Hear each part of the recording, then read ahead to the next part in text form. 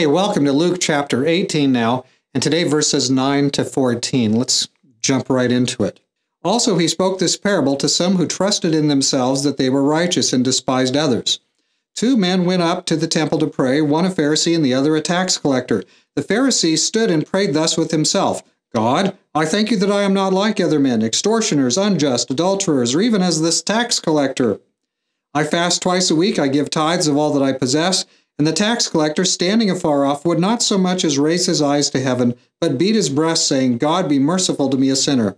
I tell you, this man went down to his house justified rather than the other. For everyone who exalts himself will be humbled, and he who humbles himself will be exalted.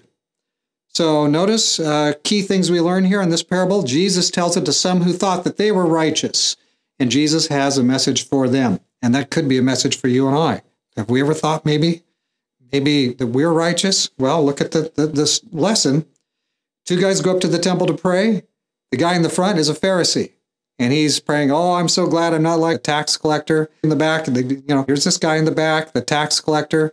He's just barely could bring up the courage to enter the building, and he stays as far back as he can, and he says, "Oh God, please be merciful to me, a sinner." He's truly deeply repentant.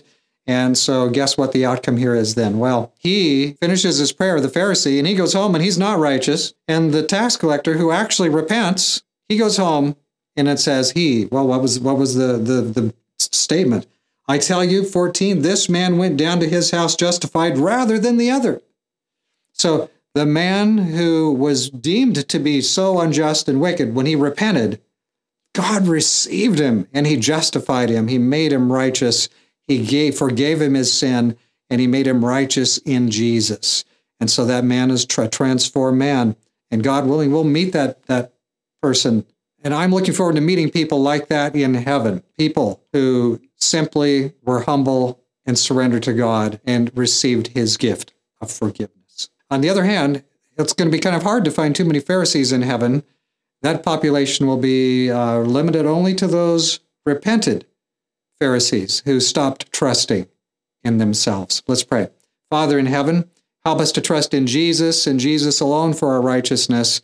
Help us to be actively about your work, Lord, but at the same time, knowing that all of the goodness that we have, we receive from Jesus. We don't give you anything except a sin damaged heart. Now, Lord, transform us. Thank you for hearing our prayer. In Jesus' name, amen. Friend, may you be blessed today throughout your day.